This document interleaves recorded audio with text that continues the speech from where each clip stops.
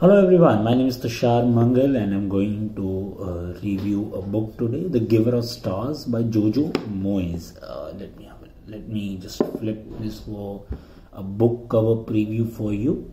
Uh, I have read many books of Jojo Moyes. Me Before You was one of my favorite and it turned out to be a great read. I gave this a shot, The Giver of Stars uh, very recently uh, alice wright is from united kingdom and she comes to kentucky post marriage with bennett van cleve and uh, the background of this story is quite interesting uh, because the author takes you to uh, from uh, united kingdom. The author takes you to the back lanes of kentucky in the 1930s 40s you know many many years ago.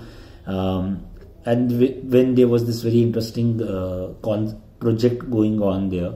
Um, it was called the Packhorse Library, where you know on horse ride, uh, ho riding a horse, uh, the librarians would go to the doorsteps and give the mountain people books uh, to read and all. Very uh, so the background itself is very uh, intriguing. It's very interesting. The characters are very well edged. There are five women librarians. Uh, Alice, like I said, being one of them, and you know how her marriage turns out, and it's and somehow the story you know takes you to uh, you know the feeling of obviously uh, like you know love relationships like most many stories do.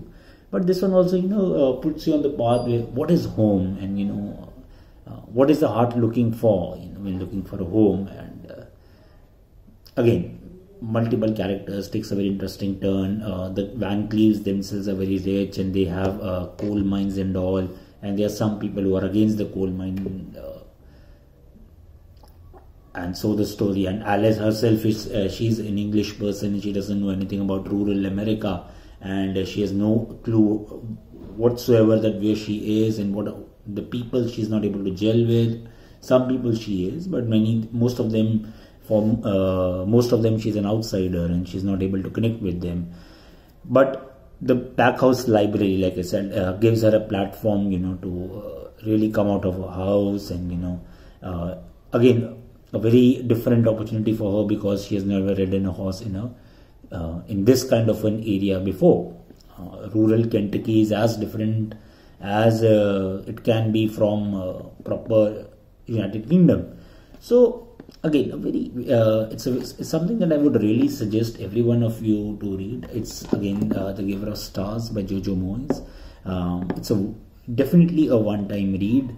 Uh, something that uh, will connect to your heart and uh, it has a homeliness kind of a feeling. It's you know things about loyalty friendship and the goodness of people as well. So please do give it a read. And uh, it can be gifted to someone as, as well. But uh, i think this is more uh, something for a library read than a gifting read.